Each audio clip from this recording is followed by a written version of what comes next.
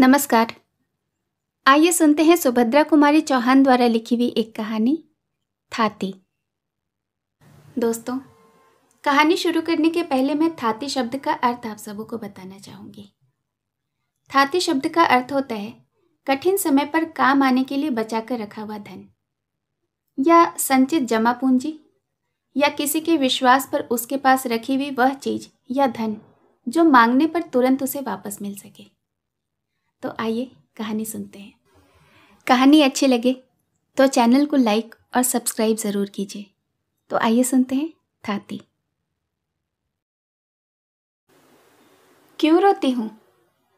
इसे नाहक पूछ मेरे जले पर नमक न छिड़को। ज़रा ठहरो, जी भर के रो भी तो लेने दो। न जाने कितने दिनों बाद आज मुझे खुलकर रोने का अवसर मिला है। मुझे रोने में सुख मिलता है, शांति मिलती है। इसीलिए तो रोती हूँ।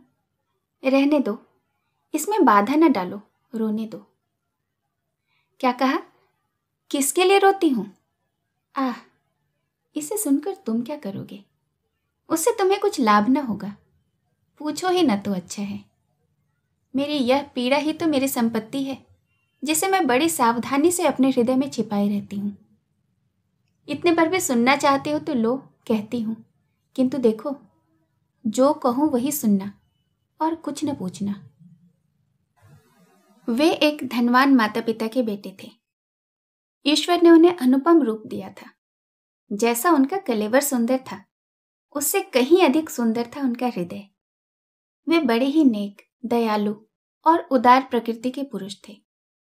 गाँव के बच्चे उन्हें देखते ही खुश हो जाते। बूढ़े आशीर्वाद की वर्षा करने लगते और स्त्रियाँ उन्हें अपना सच्चा भाई और हितु समझती और नौजवान तो उनके इशारों पर नाचते थे। तात्पर्य यह कि वे सभी के प्यारे थे और सभी पर उनका स्नेह था। मैं उन्हीं के गाँव की बहू थी। मेरे पति वहीं प्राइमरी पाठशाला में मास्टर थे। घर में बूढ़ी सास थी, मेरे पति थे और मैं थी। महँगाई का जमाना था, बड़ी मुश्किल से गुजर होती थी। घर के प्राय सभी छोटे मोटे काम हाथ से ही करने पड़ते थे। एक दिन की बात है, मैं वैसे ही ब्याह करके आई थी। मैं थी शहर की लड़की, वहाँ तो नलों से काम चलता था। भला कुएँ से पानी भरना मैं क्या जानती? मेरी सास मुझे अपने साथ कुएँ पर पानी भरना सिखा रही थी। अचानक से न जाने वे कहाँ से आ गए और हंसकर बोले, क्या पानी भरने की शिक्षा दे रही हो माँ जी? आपने ऐसी अल्हड़ लड़की व्याही ही क्यों, जैसे पानी भरना भी नहीं आता? मैंने घूंघट के भीतर ही जरा सा मुस्कुरा दिया। सास ने कहा, बेटा, इसे तो कुछ भी नहीं आता। बस रोटी भर अच्छा बना लेती है। न पीसना जाने, न कूटना। गोबर से तो इसे जैसे घिन सी आती है। बड़ी मुश्किल से कहीं कंडे थापती है। उसके बाद दस बार हाथ धोती है।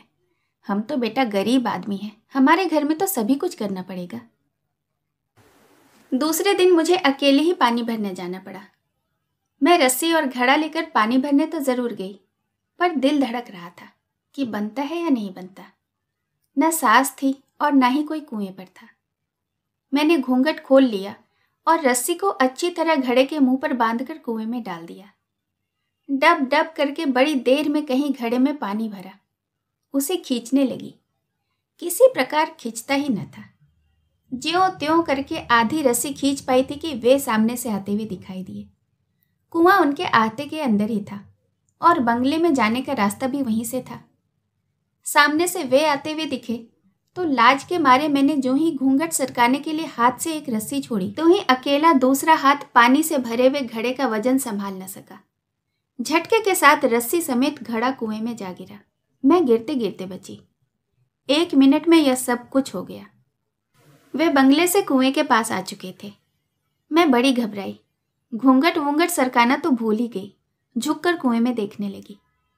मेरे पास तो रस्सी और घड़ा निकालने का कोई साधन ही न था।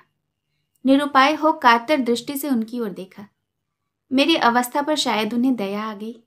वे पास आकर बोले, आप घबराइए नहीं, मैं अभी घड़ा निकलवाए देता हूँ। फिर कुछ ठहर कर मुस्कुराते हुए बोले, किंतु आज आपने यह साबित कर दिया कि आप शहर की एक अल्हड़ लड़की हैं। मैं ज़रा हँसी और अपना घूंघट सरकाने लगी। मुझे घूंघट सरकाते देख वे ज़रा मुस्कुराए। मैं भी जरा हंस पड़ी, पर कुछ बोली नहीं। उनकी नौकर आए और देखते ही देखते रस्सी समेत घड़ा बाहर निकाल लिया गया। करीब पौन घंटा कुएँ पर लग गया। अम्मा जी की घुड़कियों का डर तो लग ही रहा था। जल्दी जल्दी आई, घड़े को घिनौची पर रखकर रस्सी को खूंटी पर टांगने के लिए जो ही मैंने हाथ ऊपर उठाया, देखा कि हाथ में सोने का कंगन नहीं है।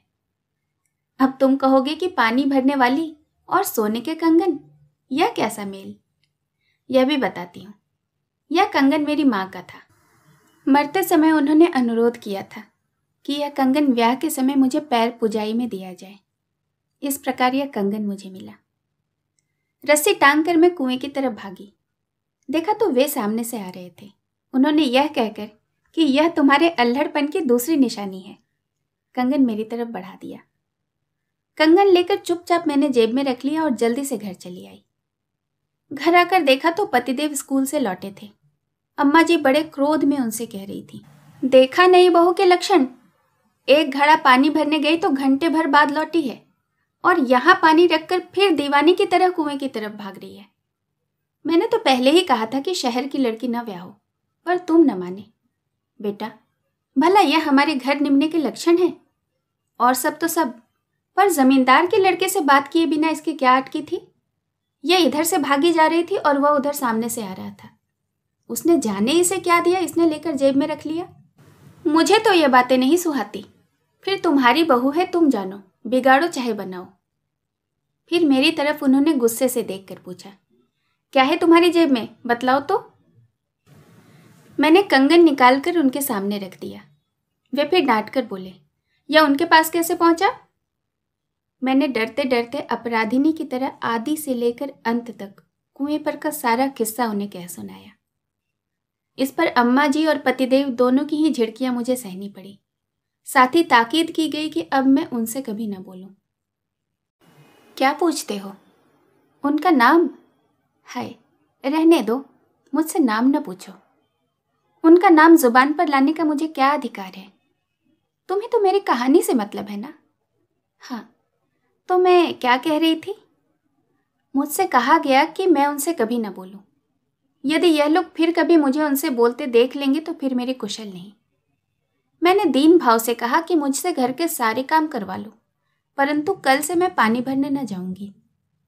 इस पर पतिदेव बिगड़ कर बोले, तुम पानी भरने न जाओगी तो मैं तुम्हें रानी बनाकर नहीं रख सकता।